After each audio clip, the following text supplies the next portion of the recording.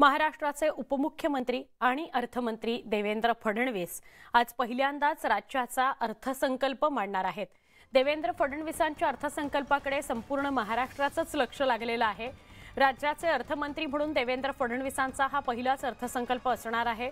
शिंदे फडणवीस सरकार सत्तेत आल्यानंतर त्यांच्या कामाचा धडाका पाहता फडणवीस उद्या सादर करणाऱ्या अर्थसंकल्पातून महाराष्ट्राला मोठ्या अपेक्षा आहेत.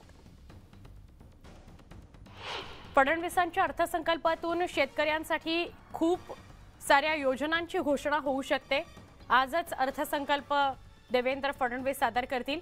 जलयुक्त शिवारसारख्या काही योजना उद्याच्या आजच्या अर्थसंकल्पामध्ये जाहीर होतील असा अंदाज आहे. शेतकऱ्यांना आत्महत्येच्या दुष्टचक्रातून बाहेर काढण्याकरता सरकार ठोस उपाययोजनांची घोषणा करण्याचीही आज शक्यता आहे. राज्यात नव्या पायाभूत प्रकल्पांची घोषणाही होऊ शकते. मुंबई पुणे नाशिक नागपूर या शहरांमधील मेट्रो योजना रस्ते योजनांसाठी भरीव निधीची तरतूद होण्याची शक्यता आहे. शिवाय राज्यात समृद्धी हायवेच्या धर्तीवर आणखी एक्सप्रेस हायवेची घोषणाही होऊ शकते. त्यामुळे आजचा अर्थसंकल्प हा लक्षवेधी असणार आहे यात शंका नाही.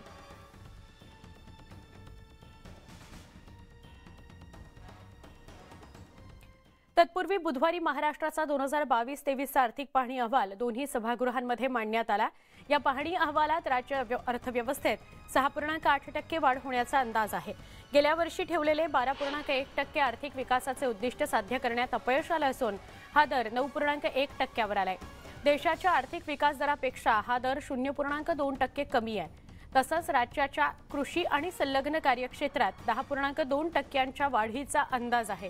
त्याचबरोबर उद्योग क्षेत्रामध्ये सहा पूर्णांक एक टक्के वाढ आणि सेवा क्षेत्रामध्ये सहा पूर्णांक चार टक्के वाढ अपेक्षित असल्याची माहिती आर्थिक पाहणी अहवाल म्हणजेच इकॉनॉमिक सर्व्हेमधून समोर आली.